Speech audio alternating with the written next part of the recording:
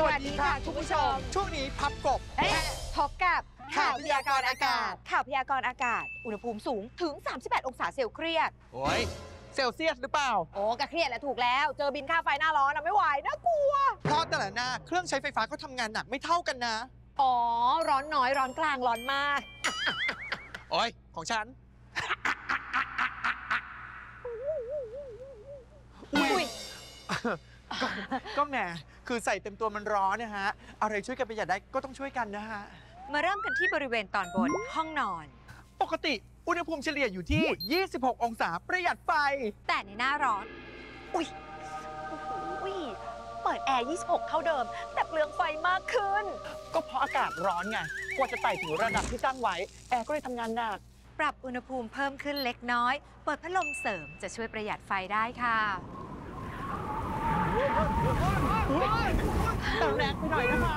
ตู้เย็นก็เช่นกัน เพราะอากาศร้อน ตู้เย็นจึงทำงานหนักมากขึ้น หมั่นเคลียร์ของในตู้เย็นก็ช่วยประหยัดไฟได้นะคะ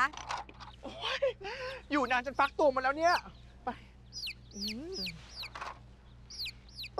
มีน้ำจิ้มไก่ด้วย ส่วนหน้าฝนระวังลมชกกันชอกแรงและความชื้นสะสม ไม่ผ่านนี่นะ ใช้ไดร์ เป่าให้เสื้อผ้าแห้งก็กินไฟนะเธอฮะใช้ไดร์เป่าให้เสื้อผ้าแห้งก็กินไฟนะ อะไรนะใช้ไดร์เป่าตับปิดก่อนแซ่อ๋อ ใช้ไดร์เป่าให้เสื้อผ้าแห้งก็กินไฟนะฮะ อ๋อเอ่อส่วนหน้าหนาว อย่าอาบน้ำอุ่นเพลิน ทำไมอะ กลัวผิวเสียเหรอ เปลืองไฟหมออะกลับมาที่บริเวณตอนใต้ช่วงอ่าว อ้าว ลืมปิดไฟ อ้าว ลืมถอดปลั๊กเฮ้ยอันนี้ก็ทำให้เปลืองไฟได้เหมือนกันนะคะ แค่ถอดปลั๊กก็ช่วยประหยัดไฟได้แล้วนะฮะ อันเนี้ยทำได้ทุกด้านนะ พยากรณ์อากาศโดยรวมโปรดระวังหน้าร้อนเพราะเครื่องใช้ไฟฟ้าทำงานหนัก